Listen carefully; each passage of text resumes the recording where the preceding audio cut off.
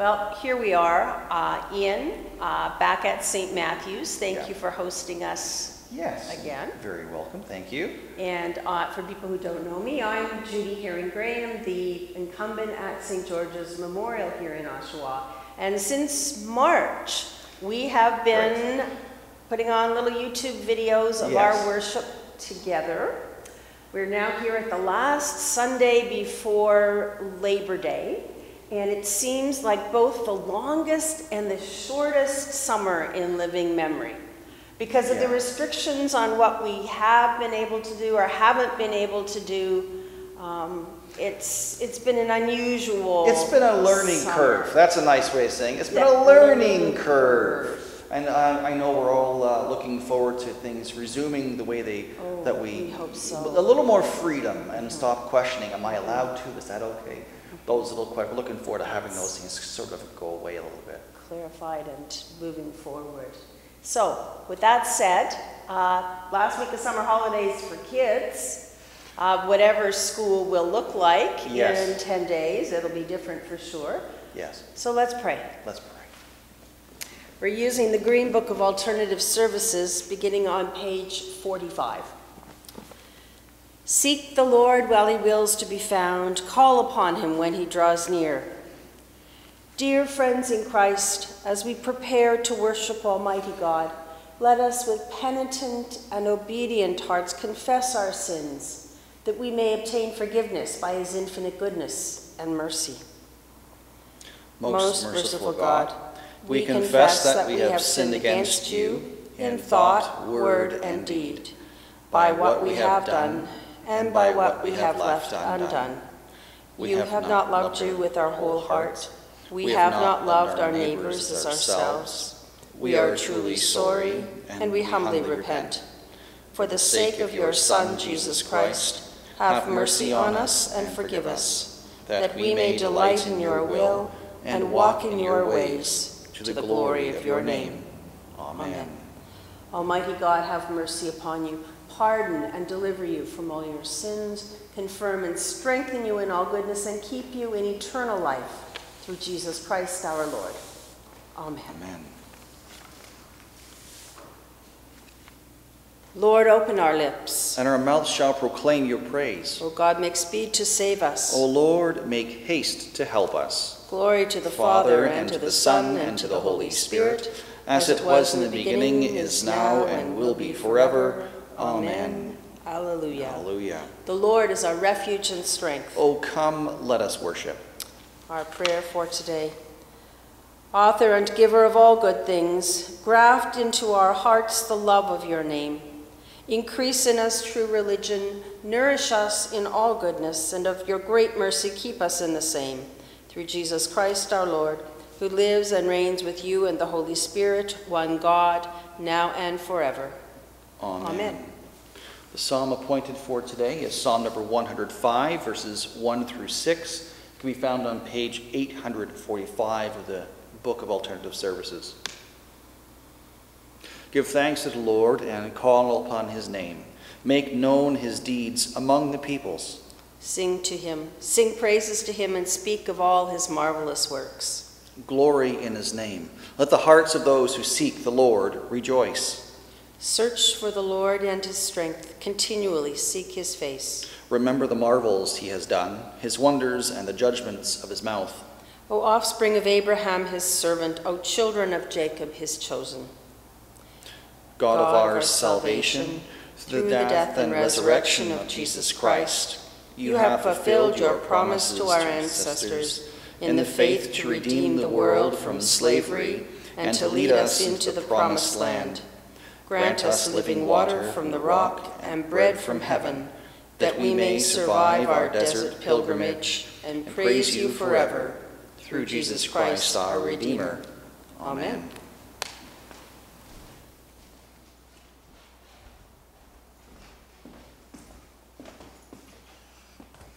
A reading from Matthew's Gospel, chapter 16, verses 21 to 28.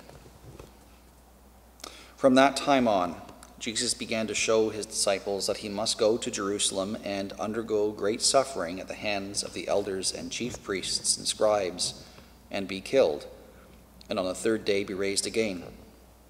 And Peter took him aside and began to rebuke him, saying, God forbid it, Lord. This must never happen to you.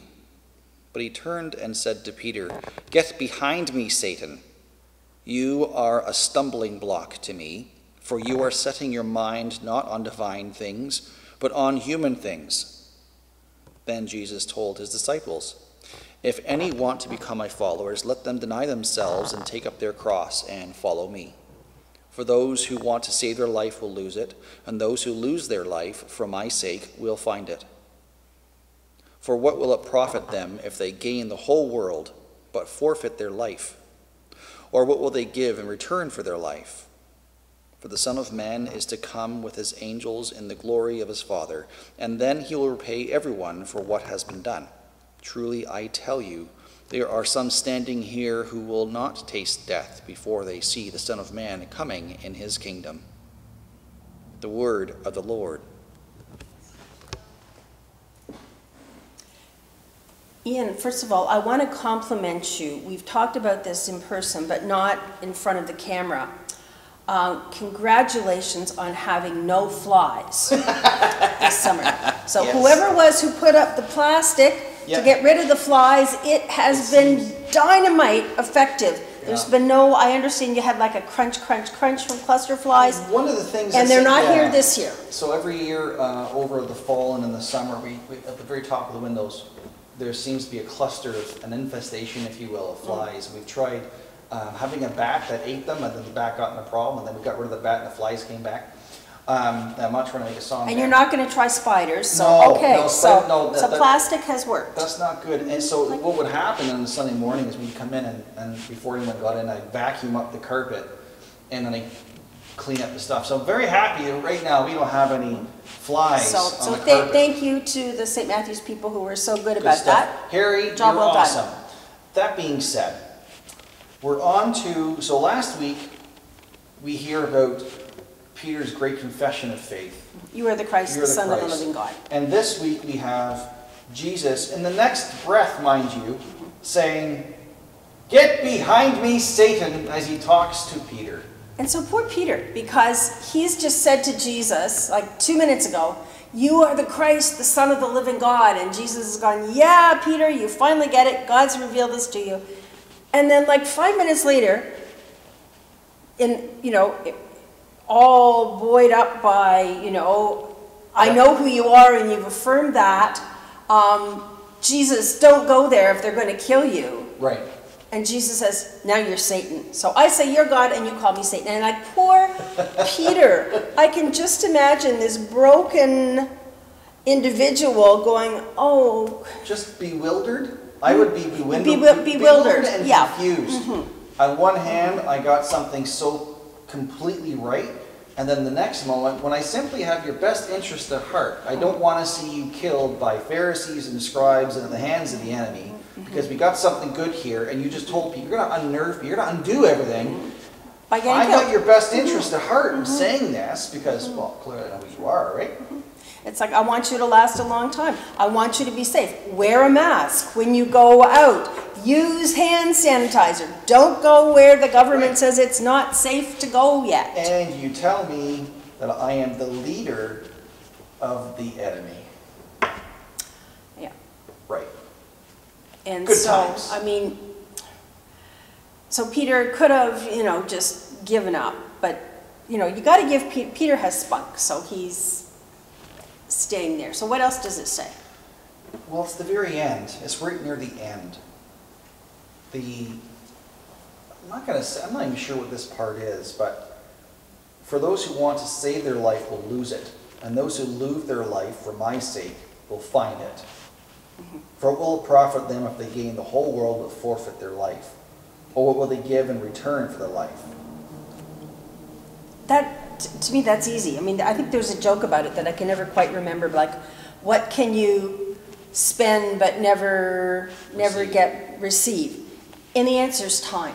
Yeah. We give time. So, um, your parishioners who sewed masks this summer, they took that two hours of their, or however many hours, and did that work, and gave the net of their work away to others unknown to them. I mean, it- it's gone out to people on the street, through the Backdoor Mission, through Father Vinea's ministry. They gave that time. You have given your life. You said to Jesus, uh, presumably at some point, You are the Christ, the Son of the living God. I give my life to you. I will follow you. And you're spending your life right now as a parish priest. You know, you've been doing this for how many years? Uh, Over a decade. Over a decade, okay, plus three years of seminary. So, like, close to 15 years now, me, umpteen, More than that. umpteen years now. More than one decade, Um, yes. But you're never gonna get those, you know, you're not, you're never gonna get your, your late 20s and 30s back. You don't get a do-over. So you have given your life for the gospel. And so for me, this is far more than martyrs. This sanctifies every hour that we give that we are loving our neighbors as ourselves and following in the way of Jesus. So what would you call a martyr? You say this is not a martyr, which is. Well, not, it's not just limited to martyrs. I mean, it's not just people who die for their faith, Right. but it's people who give their life or part of their life for their faith. You give a part of your life for the sake of the gospel. Yeah, because I never get it back. So at the end of my life, when I can turn around and look Now- back, The interesting word in that whole sentence is give. Not exchange, not transfer, oh, okay, mhm, not invest, give. I mean, an exchange or a gift, uh, sorry, an exchange or a transfer or something like that is I'm giving you this and expecting something to come back. That's the essence of exchanging change, something, yeah. right? That Or work, work, right? yeah, like works But if you're giving of yourself, or of your time, your talent, your treasure, those are very Mm-hmm. big pieces. But if you're giving that and you're not expecting anything to come back for someone you've never met, Mhm. that is sacrificial giving. That is, that's the highest, uh, the, the, the Jewish tradition has like 10 different levels of charity, and that's the highest form. When you give, not knowing the recipient, not And- knowing anything beyond yourself. And certainly throughout the last six months, people have been giving to their church, to their faith, Mhm. to their God, and have been receiving something, but it's not an exchange and purchase of No. goods. It's an, I'm giving because thy faith says that. So Giving because the, you know, I, but I also, so I do not give to get a blessing, that's the works righteousness. I give for the joy of giving Right. and for living out my life following Jesus. So when we talk about the very beginning here, when Jesus says, get behind me, Satan, what's at stake? Well, so Satan is the tempter. Um, if we're, if we're gonna, so I, I, I'm not gonna personify Satan, but get away from me anything that would stop me. From giving. Get in, get, stop me from giving. Stop me from giving of myself. Jesus was trying to give himself, Mm. right?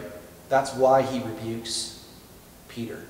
He's giving himself for the sake of the world, for, for us, whom we have yet to be born. He gave himself for us. And Peter said, no, no, don't, don't, don't do that. We don't want to hear that. Jesus' gift is what's at stake. Is himself, is himself. life. And Jesus likewise calls us to give of ourselves. Mm-hmm. Maybe not all of our lives, but Certainly pieces of them, parts of them. as best we can. And we find ourselves saying, no, no, I can't do that, perhaps we have to ask ourselves why we don't want to. Because maybe we're being called to a place where we're uncomfortable. Ah, yeah, yes, absolutely. Out, Right? out of our comfort zones. And we all know we've been out of our comfort zones. We've been stuck at home with our friends, our neighbors, our local neighborhood, which can all of a sudden feel like a very small prison. And we've been asked to give of ourselves to people in a way we've never done. It's a hard space to be. So thank you, you know what, thank you all for your, not just your monetary gifts, but for the gifts of your time, even just for tuning in, for telling someone and sharing this on YouTube or whatever else it is. But for the people who have continued to, at St. George's, drop off food for Father Vinea's ministry, for food and toiletries for the backdoor mission, For cleaning up the garbage that is around our churches, for cutting the grass, for simply saying your prayers quietly in the comfort of your own home, those things make a difference. Jesus clearly knows that this is going on. And we're grateful that we are able to sacrifice part of our life and not expect anything in return as a gift back to God. Thanks be to God. Amen.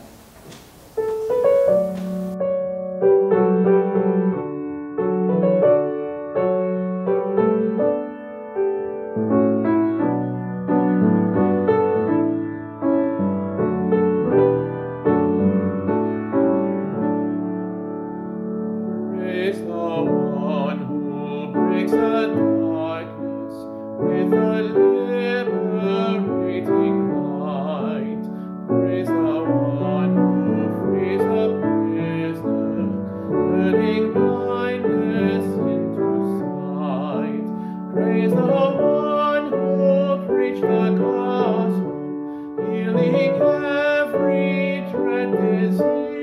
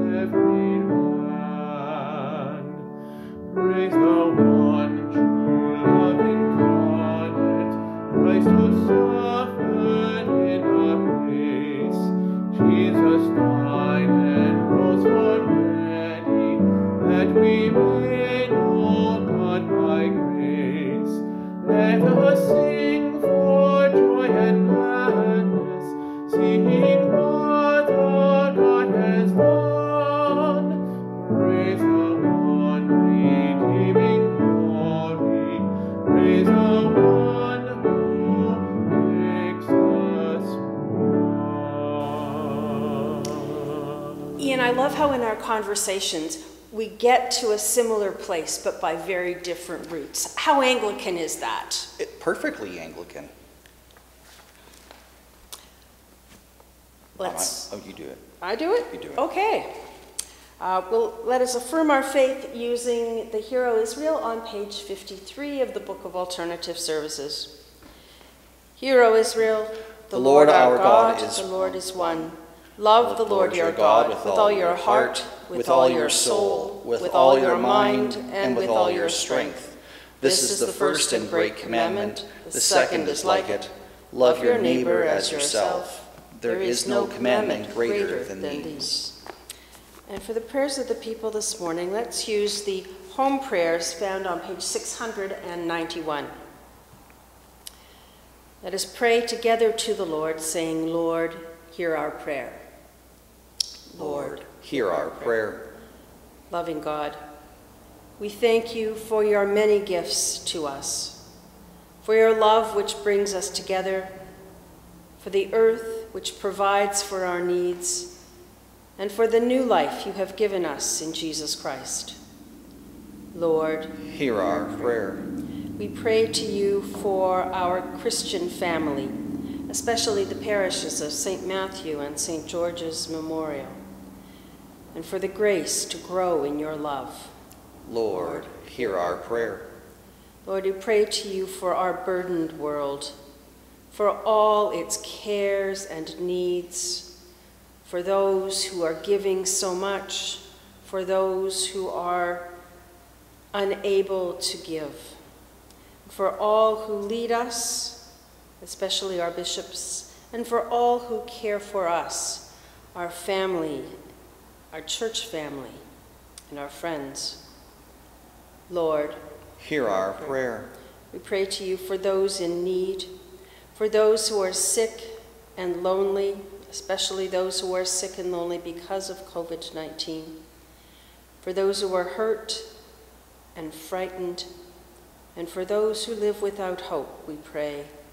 Lord, hear our prayer. We pray for those we love who have died, that you will surround them with your care and love. Lord, Hear our prayer. we pray for each other, asking you to bless us, our friends and relatives. Bless the places where we work. Bless our homes, and bless our common life together. Lord, Hear Hear our our prayer. Father of light, yours is the morning and yours is the evening. Let Christ, the Sun of righteousness, shine forever in our hearts and draw us to that light where you live in radiant glory. We ask this for the sake of Jesus Christ our Lord. Amen. Amen. Gathering our prayers and praises into one, let us pray as our Savior taught us.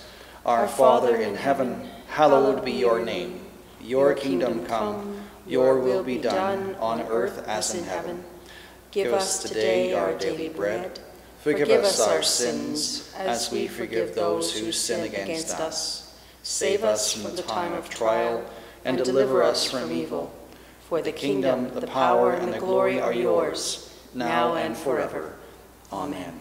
May the peace of God, which passes all understanding, keep your hearts and minds in the knowledge and love of God, and of His Son, Jesus Christ our Lord, and the blessing of God Almighty, Father, Son, and Holy Spirit, be amongst you this day and remain with you always. Amen. Let us bless the Lord. Thanks be to God.